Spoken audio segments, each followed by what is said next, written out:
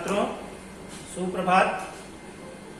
विद्यार्थी मित्रों class seven तक आपने संस्कृत में दीप मणिका पाठ पुस्तक में चार लकारों के बारे में आपने पढ़ा था। लट लकार लिट लकार लंग लकार लोट लकार और बिधनी लकार बिधनी लकार जो है वो पुनरावृत्ति बाकी पाठों को आप क्रम से पढ़ते गए हैं।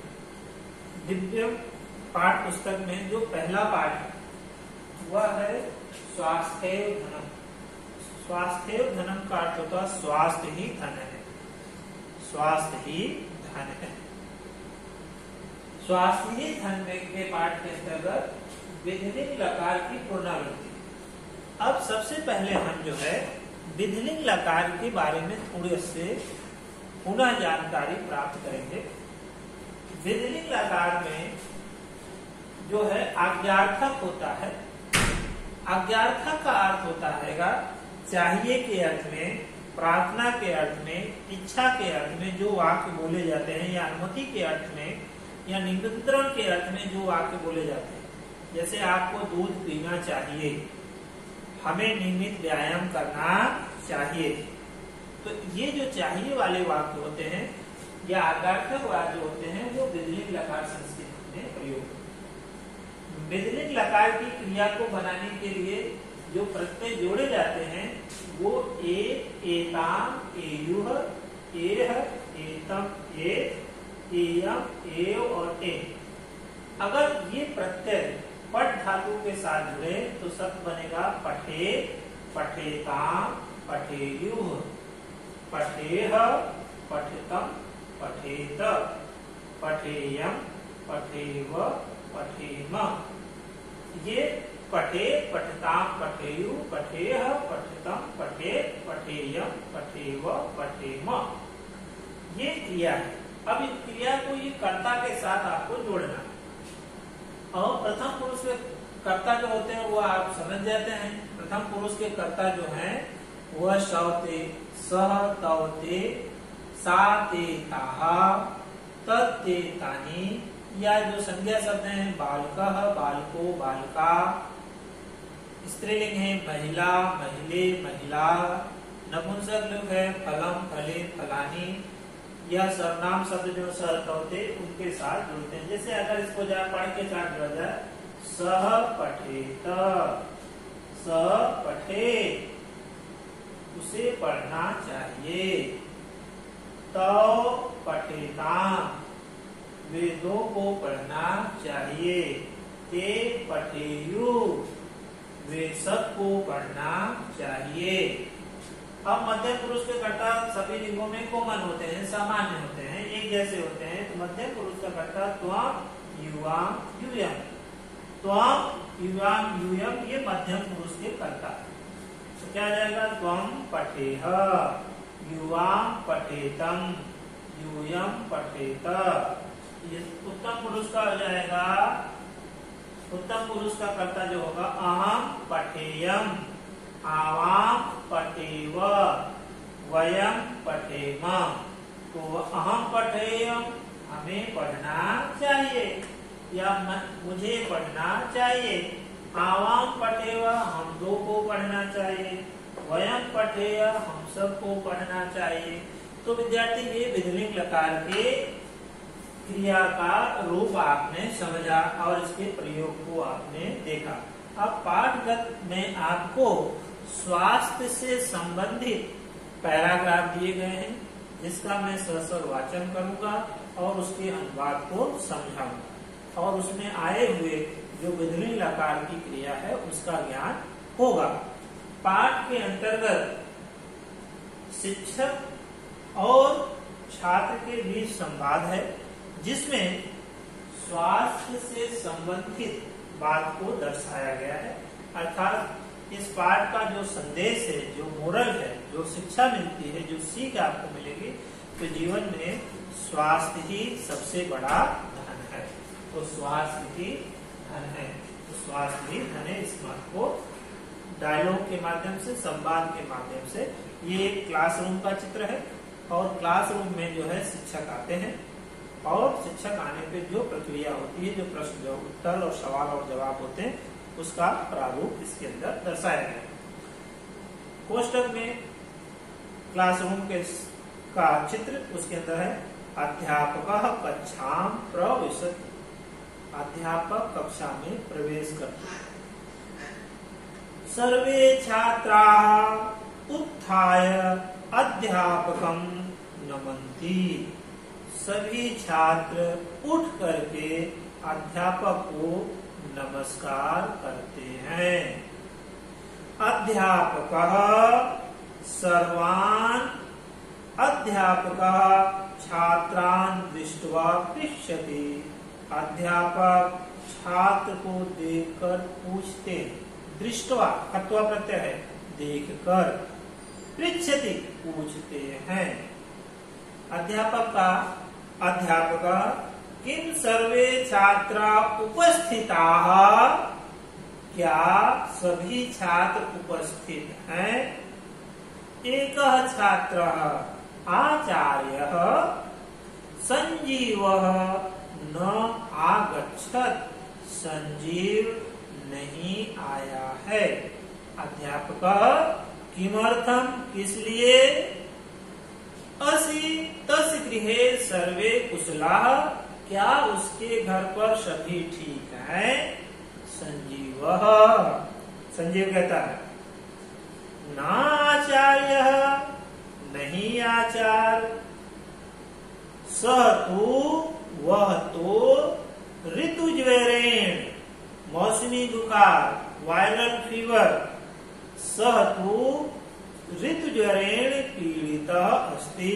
वह तो मौसमी मौसमी बुखार से पीड़ित है। वायरल हुआ है। अतः इसलिए विद्यालय विद्यालय न अगछत नहीं आया है। अध्यापक एतत् ज्ञात्वा दुखम अनुभवामी। यह जानकर दुख हुआ, होता है। यह दुखी हुआ हूँ। वयम स्वास्थ्य नियमानाम पालनम अवश्य कुरियाम। अब यहाँ कुरियाम। हम सबको स्वास्थ्य के नियमों का पालन करना, अवश्य पालन अवश्य करना चाहिए। हम सबको स्वास्थ्य के नियमों का पालन अवश्य करना चाहिए।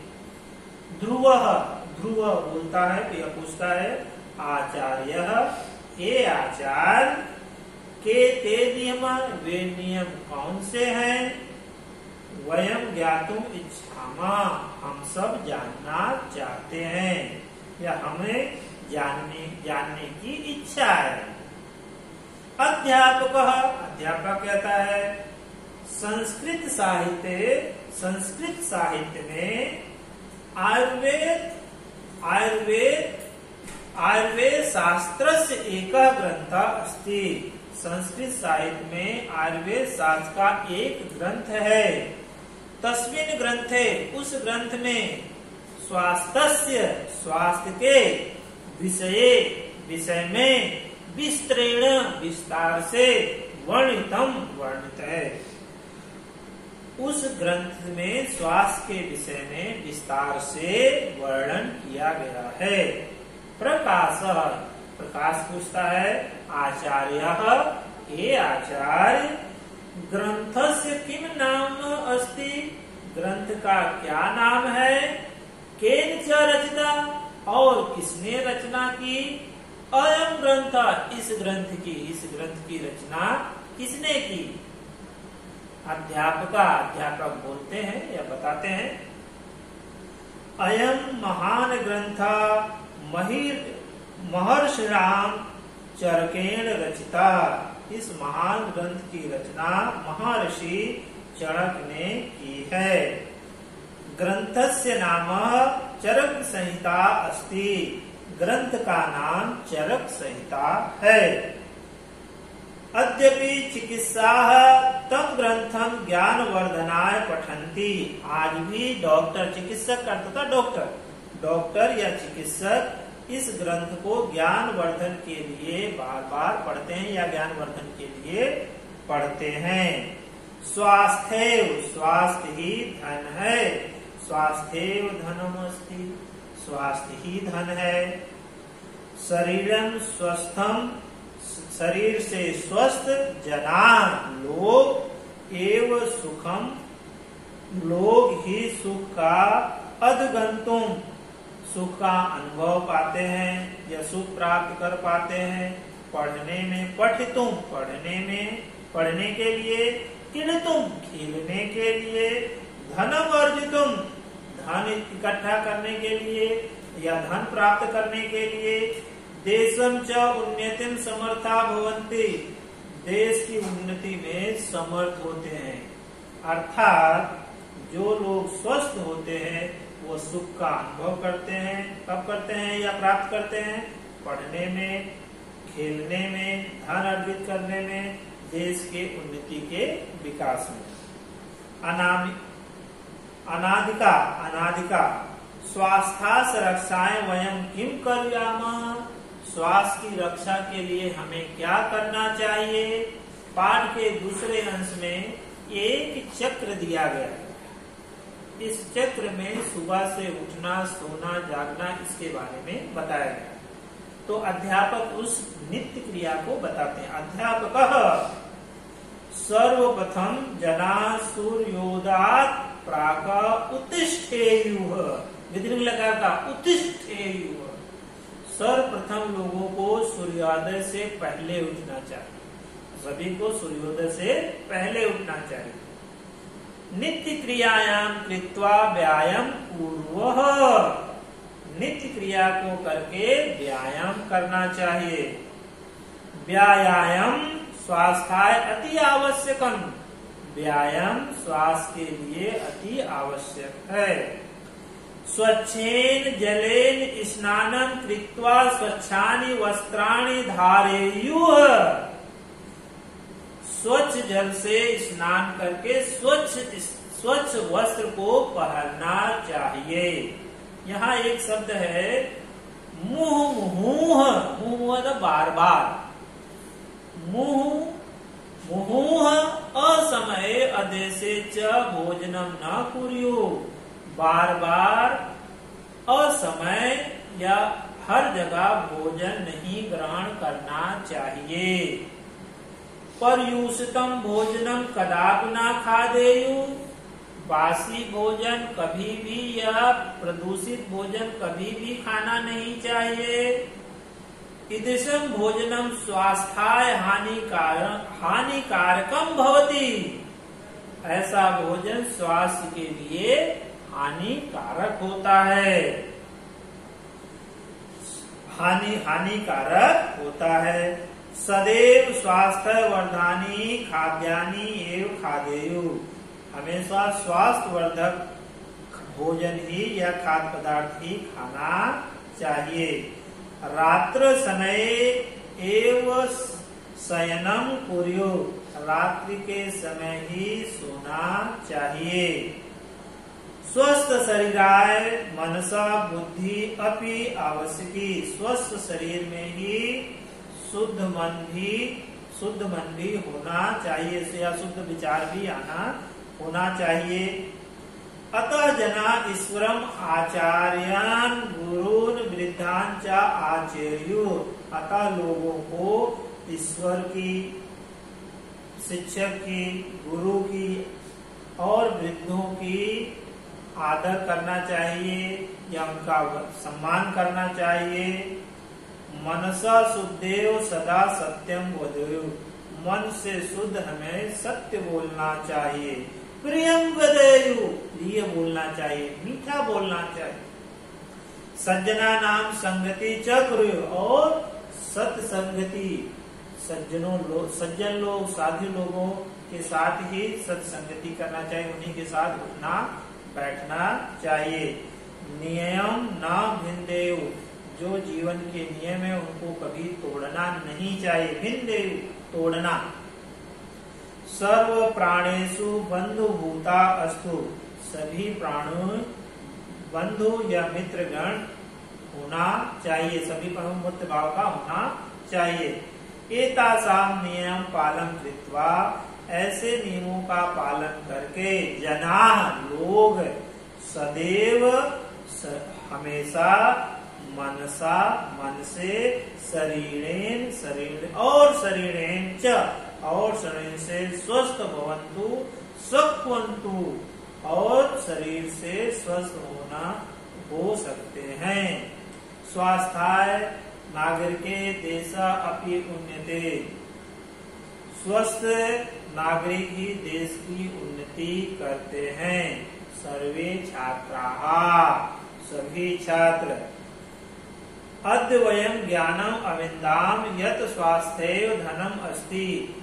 आज हम सब ज्ञान प्राप्त किए कि सभी विद्यार्थी क्या मोरा मिला सभी विद्यार्थी कहते हैं, आज हम सब ज्ञान प्राप्त किए कि स्वास्थ्य ही धन है। अध्यापका स्वस्थम भवेति, स्वस्थ रहो।